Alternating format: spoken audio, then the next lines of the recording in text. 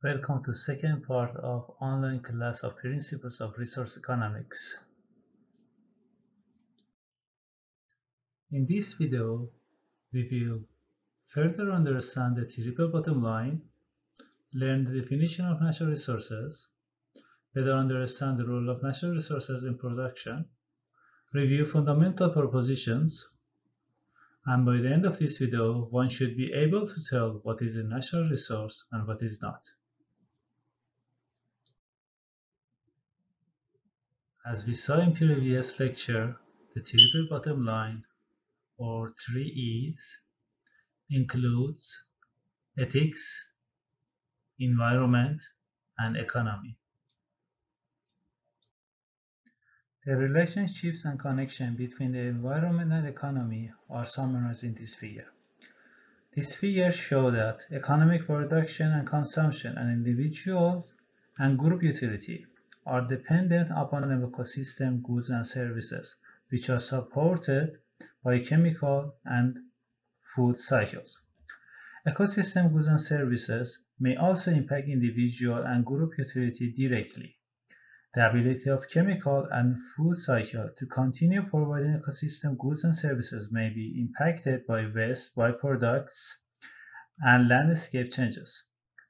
Waste byproducts landscape changes may also impact individual and group utility directly. The whole system is ultimately powered by the energy from the sun. A fundamental proposition arising from the relationship and connection shown in this figure is that a healthy economy is based on a healthy environment and a healthy environment is based on the healthy economy.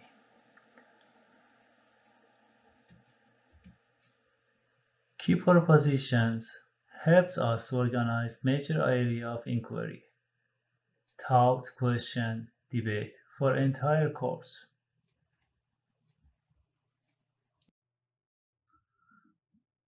Let's define natural or environmental resource.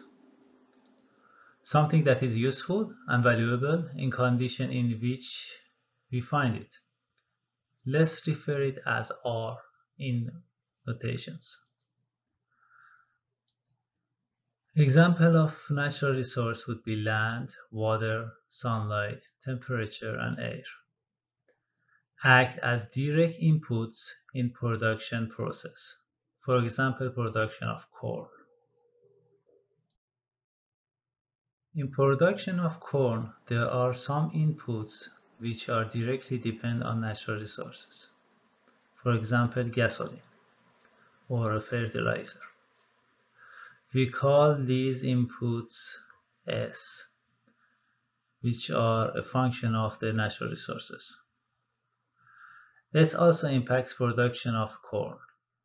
We can now define production function from corn as Q is equal a function of a labor, capital, natural resources, and inputs that directly depend on natural resources.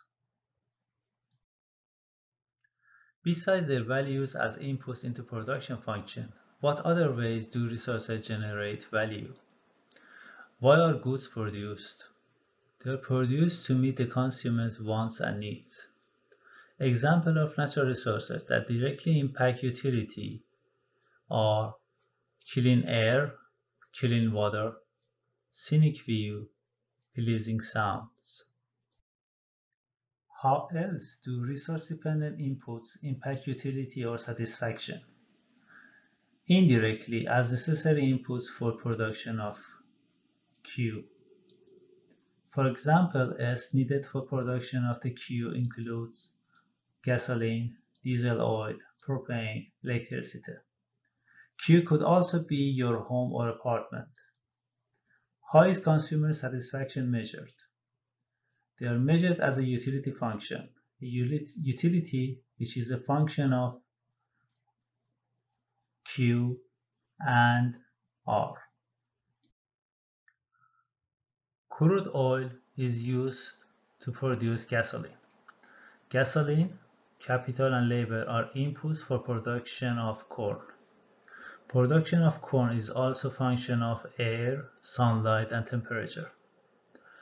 These natural resources can directly and indirectly provide utility. As you can see, they can people can enjoy from good weather or the scenic of the cornfield and indirectly air would provide satisfaction by producing the corn and providing food for the people. What is not a resource? Consider formal definition. Things that are unknown or for which no uses have been found or technically considered resources since have no economic value. Examples Crude oil when was first discovered. For years it was there but it had no use. Gold to certain native tribes. Shells were more valuable. Can you imagine that?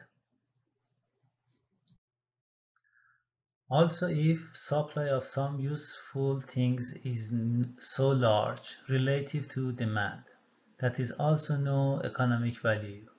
It is not technically considered a resource. Sand in the middle of a desert or salt water in the middle of an ocean are example of this situation. Resource is a dynamic concept. The possibility always exists that changes in information technology or relative scarcity may make a valuable resource out of something that previously had no value. Another final point on resource definition, things produced by people are not resources, although resources may be inputs. For example, according to the relationships, copper ore is a resource. However, copper wire is not. To better understand what is a healthy ecosystem and what are the challenges, let's look at this case of wolves of Isle Royale National Park.